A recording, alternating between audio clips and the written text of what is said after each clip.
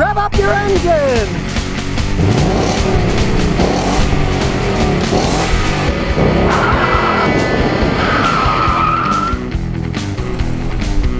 It's time for the Scotty Kilmer Channel. Today I'm going to show you how you can balance your own tires. And here's how the saga began.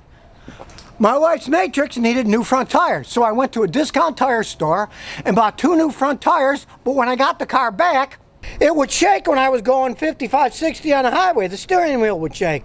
So I took the car to my friendly front end guys at Cotton Brothers. They checked it all out and said the only thing wrong was the idiots at the discount tire store had balanced the tires wrong, so they rebalanced them.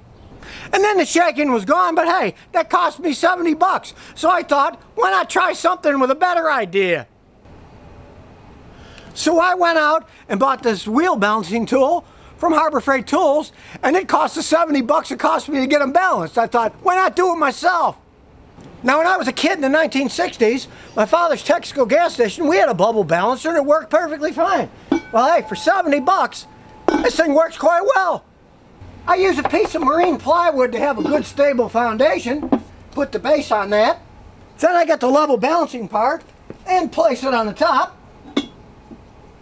Then you adjust it so the bubble is in the middle. There's screws to adjust it.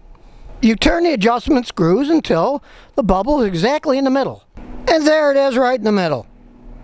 Then you get the tire and put it over the top. The spring's automatically adjusted so it fits right. And in this case, you can see this tire is balanced correctly because the bubble is still in the middle.